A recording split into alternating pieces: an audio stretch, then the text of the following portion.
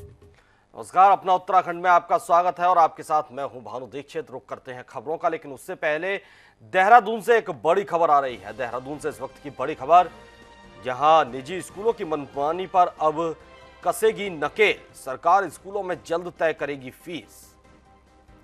शिक्षकों की योग्यता, संख्या और संसाधनों के आधार पर होगा।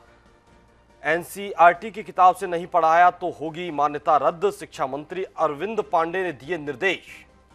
निजी स्कूलों की मनमानी पर कसेगी नकेल। सरकार स्कूलों में जल्द तय करेगी फ़ीस। शिक्षकों की योग्यता, संख्या और संसाधनों के आधार पर होगा अधिकतम फ़ीस की तय। एनसीईआरटी की किताबों से अगर नहीं पढ़ाया तो स्कूल की मान्यता रद्द होगी। शिक्षा मंत्री अरविंद पांडे ने ऐसे निर्देश जारी किए हैं। सरकारी, सरकार स्कूलों में फ़ीस तय करेगी। इसी के साथ एक और बड़ी खबर, हरिद्वार से मोबाइल की दुकान में चोरी का वीडियो हुआ है वायरल। दुकान में शातिराना अंदाज में चोरी करता युवक कैमरे में हुआ कैद। पुलिस सीसीटीवी फुटेज के आधार पर सातिर चोर की कर रही है तलाश। कनखल थाना क्षेत्र का ये मामला है। दुकान में शातिराना अंदाज में चोरी करता युवक कैमरे में हुआ कैद।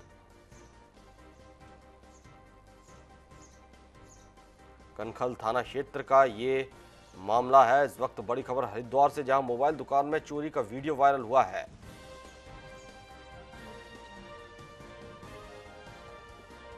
पुलिस सीसीटीवी फुटेज के आधार पर कर रही है मामले में जाँच। कनखल थाना क्षेत्र का ये वीडियो है।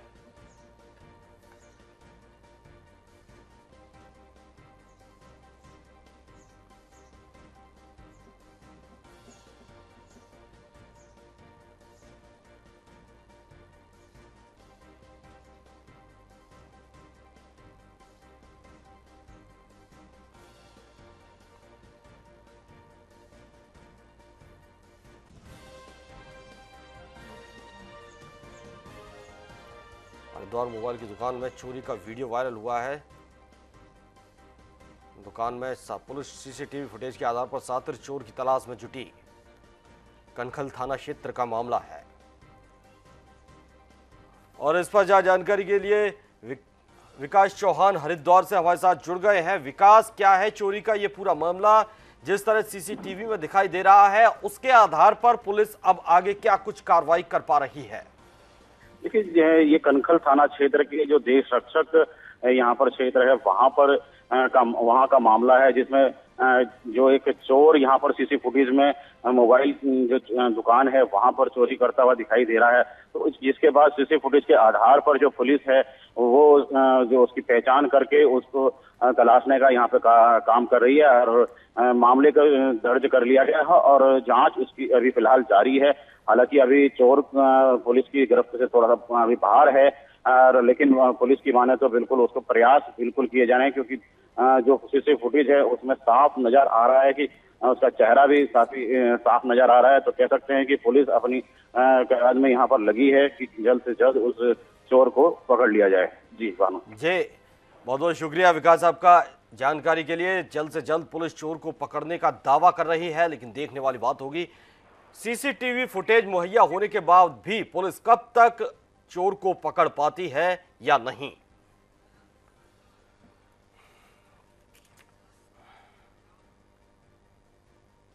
इसी के साथ एक और बड़ी खबर आ रही है देहरादून से। देहरादून से इस वक्त की एक बड़ी खबर जहाँ अटल आयुष्मान योजना में फर्जीवाड़ा सामने आया है। काशीपुर के निजी अस्पताल पर मुकदमा दर्ज किया जाएगा। अटल आयुष्मान सोसाइटी ने लिया है फैसला।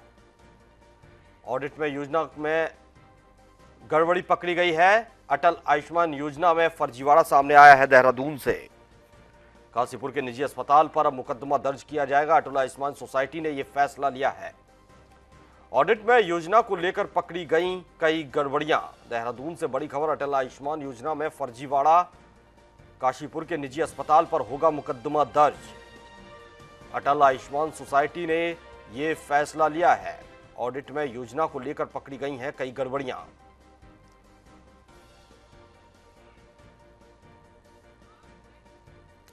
और इस पर ज़्यादा जानकारी के लिए देहरादून से हमारे संवाददाता महावीर नेगी हमारे साथ जुड़ गए हैं। महावीर, अटल आयुष्मान योजना में फर्जीवाड़े का क्या है ये पूरा मामला? किस तरह से ये गड़बड़ी सामने आई? और क्या ये सिर्फ़ महज एक गड़बड़ी है या बड़े घोटाले की इसमें बू आ रही है?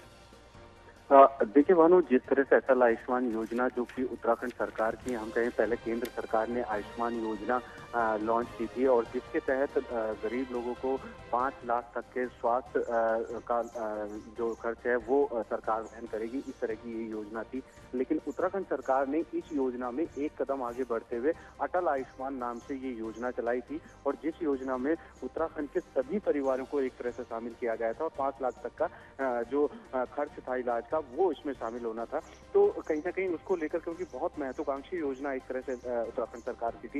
लेकिन जैसे जैसे ये योजना आगे बढ़ी तो उसमें कई अनियमितताएँ सामने आ रही हैं क्योंकि ऑडिट रिपोर्ट में ये लगातार सामने आ रहे हैं कि अस्पताल झूठे बिल बनाकर और झूठे फर्जीवाड़े कर कर इस तरह के जो सरकार से लाभ ले रहे हैं कि फर्जी मरीजों के नाम लिखकर सरकार से पैसा ऐट रहे हैं। तो ऐसे ही देहरादून में कई अस्पताल हरिद्वार में कई अस्पताल सामने आए जिनको की सूची से भी दिया गया है और अब नया मामला ये काशीपुर का सामने आया है, जिसमें कि देखने में आया है कि काफ़ी गड़बड़ियाँ इस योजना के तहत की गई हैं क्योंकि ज़बरदस्ती लोगों को रेफर करना और दूसरे फर्जी, दूसरे नामों से, फर्जी नामों से बिल बनाकर सरकार में क्लेम करना तो कहीं ना कहीं इसमें एक अनियमितता सामने आई है और जो अटल आयुष्मान योजना की जो सोसाइटी है, उसकी एक मीटिंग हुई थी और मीटिंग में ये निर्णय लिया गया, क्योंकि जो काशीपुर का ये अस्पताल है। इस अस्पताल के खिलाफ मुकदमा दर्ज होगा ही नहीं। इसके जो संचालक हैं उनके खिलाफ भी कड़ी कार्रवाई की संस्तुति यहाँ पर की गई है। तो हम कह सकते हैं कि जिस तरह से लगातार सरकार की जो बहुत महत्वाकांक्षी योजना अटल आयुष्मान योजना थी उस पर कहीं ना कहीं अनियमितताओं का जो ग्रहण है वो लगातार दिखाई दे रहा है। और ऑडिट रिपोर्ट में जिस तरह की खामियाँ सामने आ रही हैं वो कहीं ना कहीं इस अटल आयुष्मान योजना को प्रभावी ढंग से इम्प्लीमेंट होने के, के तरीकों के अलग अलग हम कह सकते हैं कि कहीं ना कहीं एक ग्रहण टाइप में लगा हुआ है। जी। जी महावीर, क्या ये सिर्फ़ एक अस्पताल का मामला है या इसकी जड़ें और भी अस्पतालों में जम चुकी हैं? देखिए हम अगर हम अस्पतालों की बात करें, क्योंकि जिस तरह से लगातार पिछली पहले भी हमारी चर्चा इसी विषय को लेकर हुई थी, क्योंकि अटल आयुष्मान को लेकर कई अस्पतालों में ऑडिट रिपोर्ट में ये लगातार सामने आ रही हैं बातें। क्योंकि ऑडिट रिपोर्ट में जिस तरह की खामियाँ सामने आ रही हैं अस्पतालों को लेकर हरिद्वार के कई अस्पताल थे जो अटल आयुष्मान योजना की सूची में शामिल थे, उसमें काफ़ी गड़बड़ियाँ दिखाई दी। देहरादून के भी कई अस्पताल थे, उनको, उनके खिलाफ कार्रवाई भी की गई है। और ये नया ताज़ा मामला काशीपुर का है, जिसमें की एक निजी अस्पताल अस्पताल में जहाँ की सरकारी डॉक्टर भी थे तो वहाँ पर ये पूरा मामला सामने आया है और गड़बड़ियाँ इस तरह की दिखाई दे रही हैं और जैसे जैसे ऑडिट रिपोर्ट और आगे बढ़ेगी तो ये माना जा रहा है कि और भी अनियमितताएँ दिखाई देंगी सामने आएँगी और अब इस पर किस तरह से सरकार क्या कदम उठाती है कि इस तरह की नियमितताओं पर लगाम लगाई जा सके ताकि जो अटल आयुष्मान योजना का जो लक्ष्य था जो उद्देश्य था वो पूरा हो सके। जी। बहुत बहुत शुक्रिया महावीर आपका तमाम जानकारी के लिए। तो बता दें कि देहरादून में अटल आयुष्मान योजना में फर्जीवाड़ा सामने आया है। अटल आयुष्मान सोसाइटी ने अब अस्पताल पर मामला दर्ज करवाने का फैसला लिया है। ऑडिट में योजना में कई गड़बड़ियाँ पकड़ी गई हैं।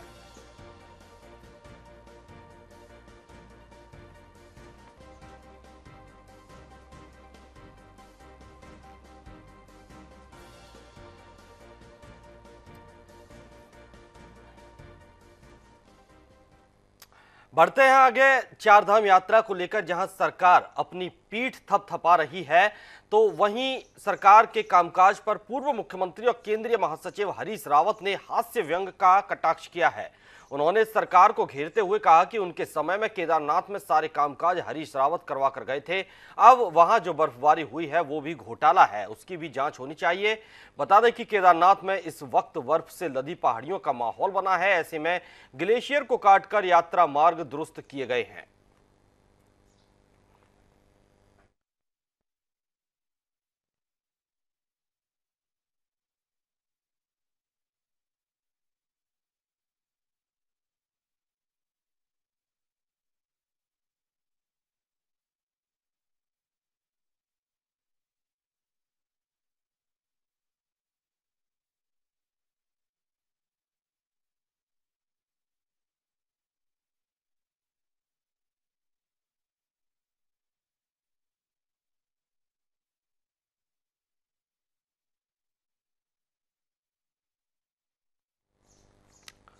तो बता दें कि चार धाम यात्रा को लेकर जहाँ सरकार अपनी पीठ थपथपा रही है, वहाँ की व्यवस्थाओं को लेकर खुद की तारीफ़ कर रही है तो वहीं इसको लेकर पूर्व सीएम हरीश रावत ने भी कटाक्ष किया है, एक व्यंगात्मक कटाक्ष किया है। उन्होंने कहा कि जो चार धाम यात्रा में बर्फबारी हो रही है, वो भी एक घोटाला है, उसकी भी जाँच करवाई जानी चाहिए, क्योंकि यहाँ जो पिछले काम थे हरीश रावत सरकार के दौरान किए गए थे और पीठ सरकार अपनी थपथपा रही है।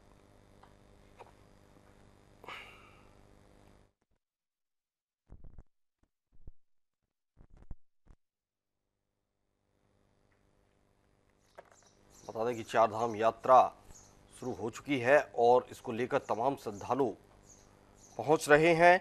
ऐसे में बर्फबारी का मौसम है इस वक्त। केदारनाथ में, जहाँ बर्फबारी से पहाड़ियाँ ढक चुकी हैं, बर्फ़ से पहाड़ लद चुके हैं, और ऐसे में सरकार जो, वहाँ जो व्यवस्थाएँ हैं, उनको लेकर अपनी पीठ थपथपा रही है। तो इस पर पूर्व सीएम हरीश रावत ने कटाक्ष किया, व्यंगात्मक तंज कसा और कहा कि वहाँ जो बर्फबारी हो रही है, वो भी एक घोटाला है इसकी जाँच करवाई जानी चाहिए, क्योंकि पूर्व में जो भी काम हुए, वो हरीश रावत सरकार के दौरान हुए थे।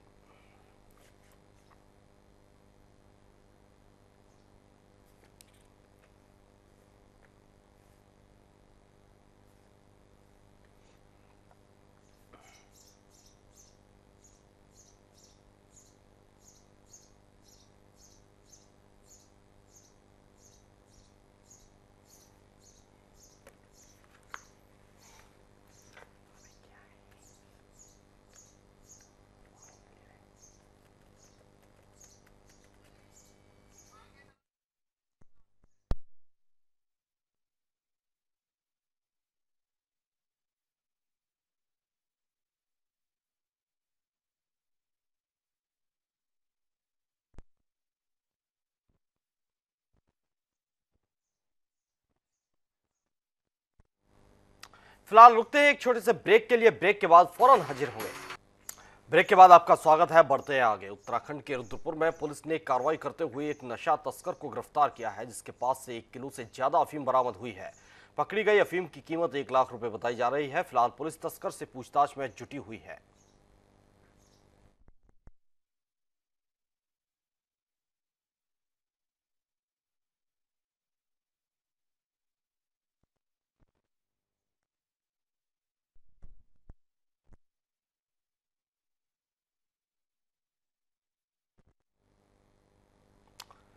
तो बता दें कि पुलिस ने एक नशा तस्कर को गिरफ़्तार किया है, जिसके पास से तकरीबन एक किलो से ज़्यादा अफीम बरामद हुई है और इस अफीम की कीमत अंतर्राष्ट्रीय बाज़ार में एक लाख रुपए से ज़्यादा बताई जा रही है। सवाल उठता है कि आखिर कहाँ से ये अफीम लाया था, कहाँ ले जा रहा था, या कहाँ से लेकर आया था और कहाँ इसको सप्लाई करनी थी? तमाम ऐसे सवालात हैं, जिनको सुलझाने में पुलिस जुटी हुई है। अपराधी से नशा तस्कर से पूछताछ की जा रही है।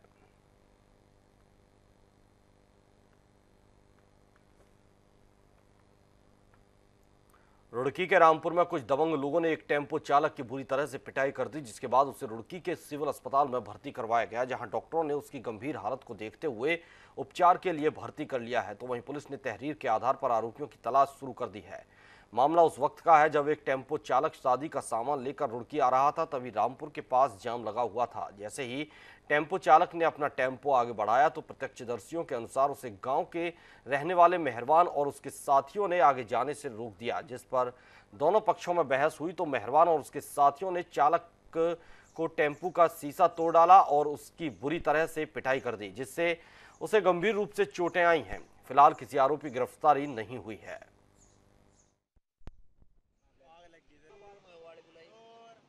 फिर राजमहल होटल के सामने पाइपलाइन बिछा रखी थी उन्होंने पानी निकालने के लिए नेशनल हाईवे पे। तो इसने बोला मैं रोज़े से हूँ मुझे जल्दी घर जाना रोज़े का मन बच्चों के लिए रोजा अफ्तारी भी लेकर जानी इतना छेता के इसके दांत भी तोड़ दिए। कौन पे दर्दी के साथ छेता कौन लोग थे वे? राजमहल होटल के मालिक थे।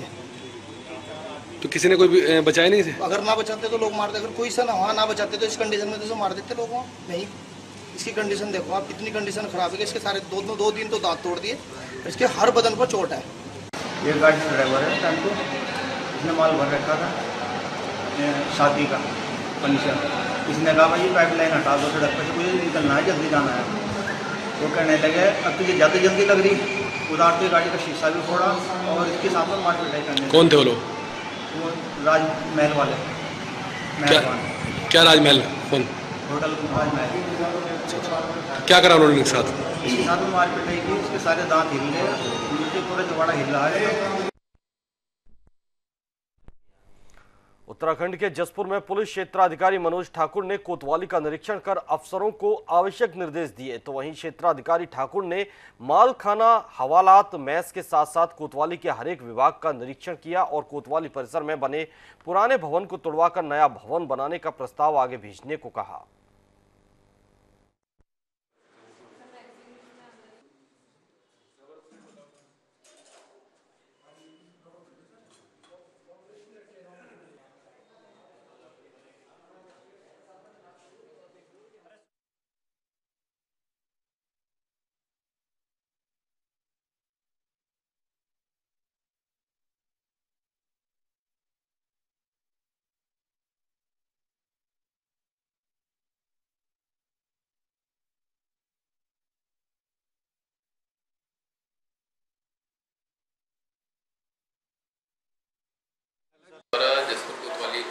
का आर्टवार्षिक निरीक्षण किया जा रहा है, जिसमें मेरे द्वारा कोतवाली परिसर का भ्रमण किया गया, और मालखाना चेक किया गया सीसीटीवी कार्यालय चेक किया, थाना परिसर में असलों की गोल जो देखी गई निरीक्षकों द्वारा उनका परीक्षण चेक किया गया। इसमें काफ़ी संतोषजनक स्थिति पाई गई, लेकिन थाना परिसर में गंदगी कई कई जगह मिली है, जिसके लिए निर्देशित किया गया है कि साफ़ सफ़ाई की व्यवस्था दुरुस्त रखेंगे दो बिल्डिंगें हैं, जो जीर्ण शीर्ण में उनकी एस्टिमेट बनवाने के लिए और दोबारा उन्हें नैनीताल में स्वास्थ्य निदेशक ने भीमताल सीएचसी का निरीक्षण किया। इस दौरान अस्पताल में धूल फाक रही मशीनों को दुरुस्त करने और अस्पताल में सफ़ाई के साथ मरीजों को बेहतर उपचार देने के निर्देश दिए गए। आपको बता दें कि सीएचसी और पीएचसी में खाली पड़े स्पेशलिस्ट डॉक्टर के पदों को भरने का प्रयास किया जा रहा है।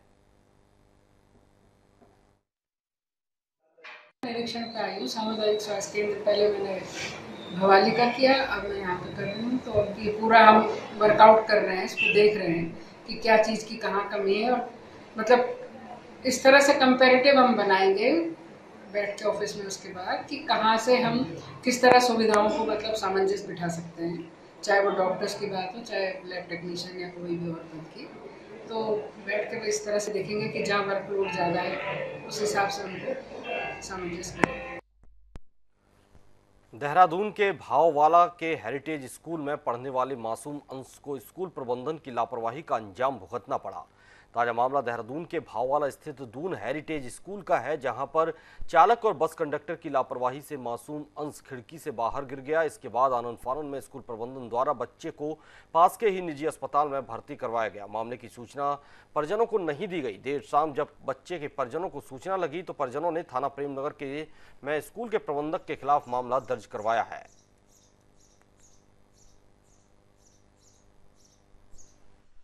देखिए, मांडूवाला स्थित एक स्कूल है, जिसके संबंध में परिजन ने आकर प्रेमनगर थाने में कंप्लेन की कि उनका बच्चा जब स्कूल से वापस लौट रहा था, साढ़े तीन साल का बच्चा तो वो स्कूल बस की जो खिड़की है, उससे गिर गया और उसे काफ़ी चोटें आई।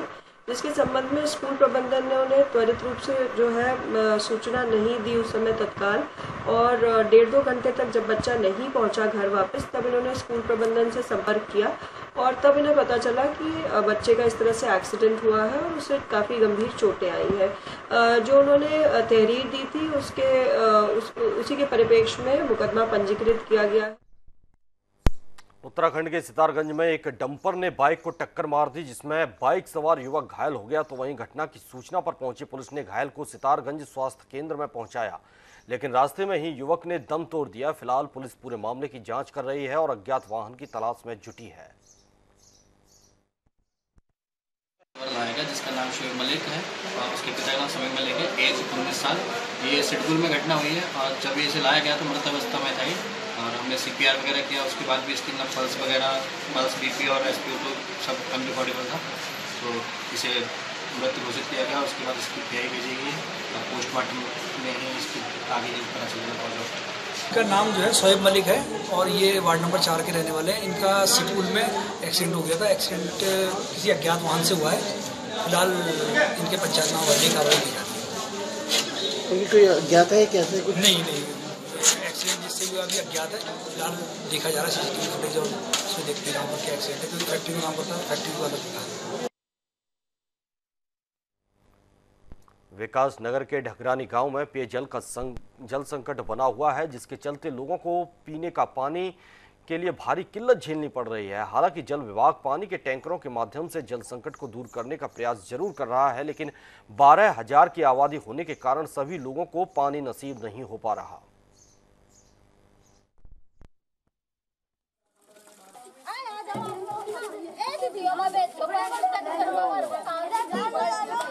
पानी की बहुत परेशानी है। हमें बहुत समय से पानी ढोना पड़ रहा है हमें बहुत दिक्कत हो रही है हमें पानी ले जाना पड़ता है। कहाँ से ला रहे हैं आप पानी हम टैंकर से लाते हैं एक दो घंटा हो जाता है हमें खड़े खड़े हमें बहुत समस्या है पानी की। टैंकर क्या पूरा कर देता है गाँव का? नहीं जी एक टैंकर में हमारा एक दो घंटे में खत्म हो जाता है की हमारे गाँव की बारह हज़ार की आबादी है। जिसकी वजह से पानी की समस्या बहुत हो रही है लाइनों में पानी नहीं आ रहा है, जिससे पशु पानी के चलते परेशानी की वजह से पशु, आदमी बुर्जुर्ग सब परेशान है, बच्चे भी परेशान हैं। पानी की बहुत ही ज़्यादा समस्या है। हम पानी का इंतज़ार करते करते घंटे, दो घंटे बीत जाते हैं, ग्यारह ग्यारह बारह बजे टंकर आते हैं।